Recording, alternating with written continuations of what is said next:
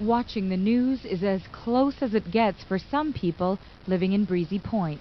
All I know for sure is what I've seen on you on CBC's aerial photographs. Ron Snyder has been living at the South Beach Casino for a week after being forced out of his home by floodwaters in Breezy Point. He hasn't been able to go back home yet. There's a mandatory evacuation order there.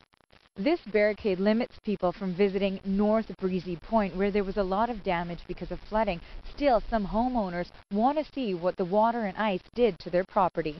I know a few that snuck in, but I won't mention their names, as I'm not sure whether the authorities are aware of these people or not. And if authorities do find out you've crossed the barricade, be warned. People that go beyond the barricades are being charged under the Highway Traffic Act by the RCMP for failure to obey a, a road barricade. Officials say the area just isn't safe enough yet to go back.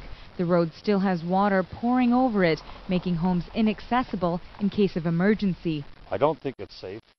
And myself personally, I don't recommend anybody to go there. Go ahead. Some Breezy Point residents don't mind the barricades even though they've been forced to stay in less than ideal conditions. We're staying um, in a wrecking yard in Selkirk. This is it. There's no one's offered us anything else anywhere. Ron Fincarrick says he'll just sit tight and wait till it's safe.